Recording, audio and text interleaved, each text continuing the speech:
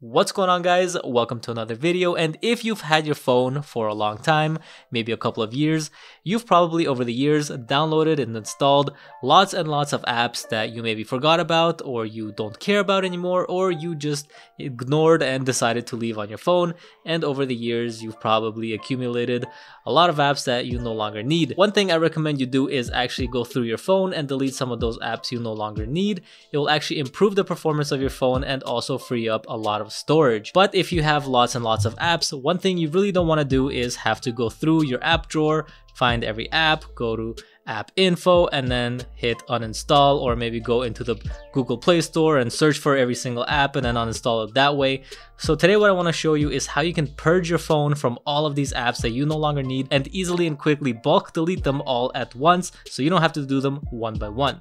Alright guys, so what you're want to do to bulk delete all the apps that you no longer want or need is go to your Play Store and then up here in the top right, you'll see your little logo or avatar of your account.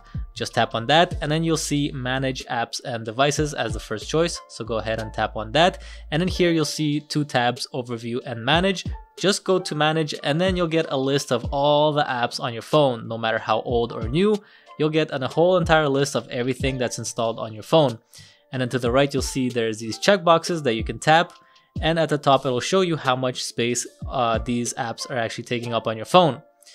So what you're gonna do at this point is actually go through this whole entire list and select any apps that you no longer want on your phone, you no longer need, and you want to delete. So just go ahead and do that with your phone. I'm gonna do it with mine and we'll come back in just a minute and I'll show you how to delete all of them at once.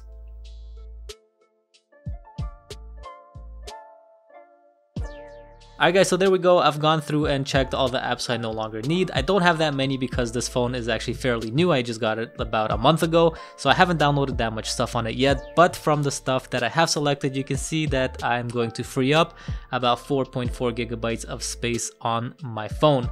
So once you've got all your apps selected, you're gonna see this little trash can icon on here.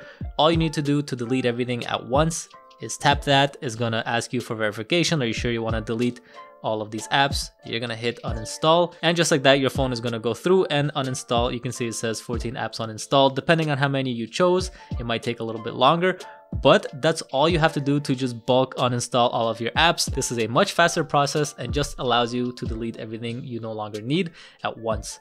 So there you go guys, just go ahead and do that if you want to delete any apps that you no longer need. Hope you guys enjoyed this video, hope you learned something. If you did, be sure to leave a like, subscribe for future videos to come, and I'll see you in the next one. Peace.